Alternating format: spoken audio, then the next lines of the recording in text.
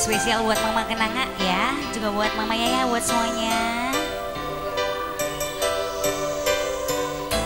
Yen gelem taja rabi, yen ra gelem taja gongi, sing ra penting ngepikir kiri.